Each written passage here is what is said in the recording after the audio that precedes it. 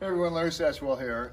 If you have horses, you have flies, no doubt about it. Well, we've tried a lot of different things, and this year we're going to try these things called fly exterminators, the soldier bugs. And I have Abby with me here to help.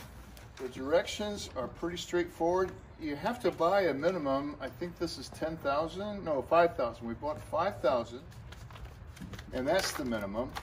But you, that many are for far more animals than we have. But we're gonna hang one of these in the barn and one of them in the chicken coop.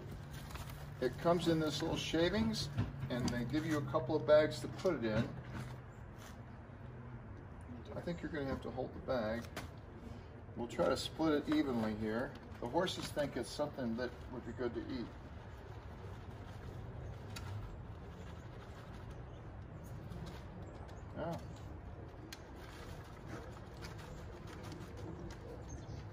It says to hang it in indirect sunlight. Don't let it get in the sunlight. I'll hang this one right over here temporarily. And we'll add this one. And you could also put it right in the manure, but it talks about keeping them away from birds and stuff, so these bags aren't very big.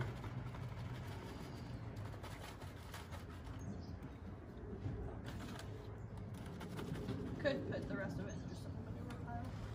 Yeah, we can do that. Definitely need to get these up.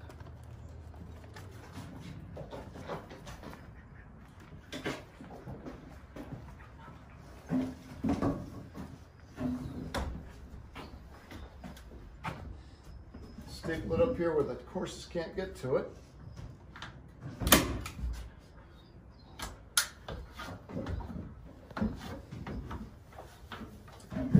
The other one in the chicken coop. Well, as you can hear, we're in the chicken coop now. I've got these old cages right above the roost where I used to keep some injured birds or things like that. And it has this little convenient hanger. So I'm gonna hang that right above there. And unfortunately, it's gonna be a few weeks or months before I can tell if it does any good. But I'll get back to you. Thanks for watching, and thanks Abby for helping.